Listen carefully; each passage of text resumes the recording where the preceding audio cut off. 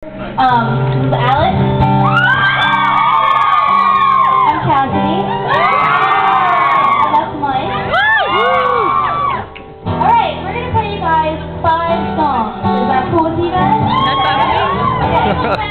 It doesn't record very long. You only have 13 minutes left. We'll see. Oh, we'll see how it goes.